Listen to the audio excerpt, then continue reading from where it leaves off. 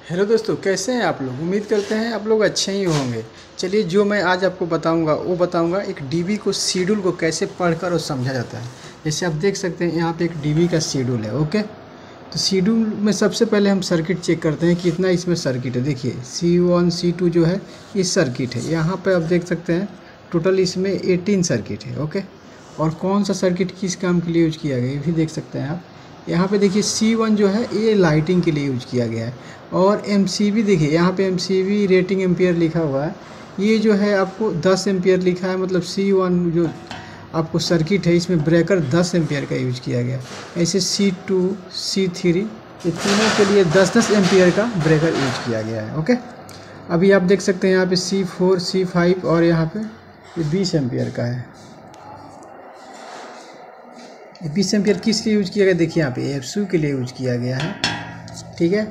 और ऐसे ही आप देखेंगे तो सर, सारे सर्किट के लिए अलग अलग ब्रेकर यूज़ किया गया है। एक यहाँ पे जो है, देखिए थर्टी टू का यहाँ पे ब्रेकर यूज़ किया गया है। इसके ऊपर ज़्यादा लोड है, ठीक है? आप देख सकते हैं यहाँ पे बहुत सारा सॉकेट है इसीलिए दिया गया है। देखिए, किसी भी टीवी में जाइएगा तो इस तरह से शेड्यूल लगा रहता है। या इससे भी अच्छा लगा रहता है। अभी तो ये काम चल रहा है, इसी तरह, इसीलिए ऐसा आपको दिख रहा है। देखिए, ये जो आप अभी थर्टी टू का जो ब्रेकर देख रहे हैं आप, जो सी एट है, देखिए यहाँ पे आपको दिख रहा होगा। सी एट ये देखिए यहाँ पे डीबी में लगा हुआ है। सी एट यहाँ पे। ठीक है, आप देख सकते हैं यहाँ पे।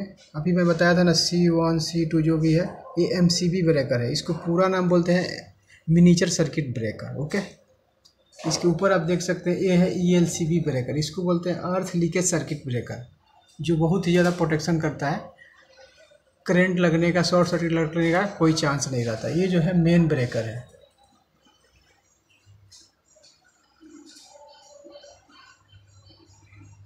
ये भी जो है दिखा रहा हूँ आपको एम सी बी ब्रेकर है। नीचे